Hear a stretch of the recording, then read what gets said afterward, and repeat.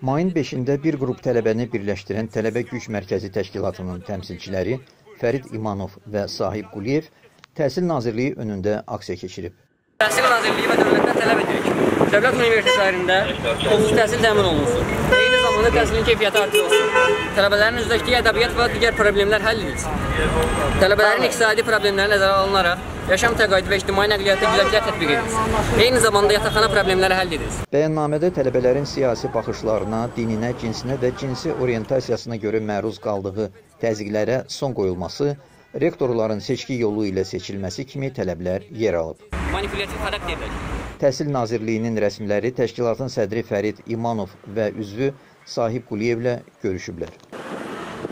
Təhsil Nazirliyindən BBC News Azərbaycancaya bildirilib ki, tələbələrin tələbləri dinlənilib və gördükləri problemləri aradan qaldırmaq üçün onlarla birgə işləməyi, təşəbbüslərini irəli sürməyi təklif ediblər.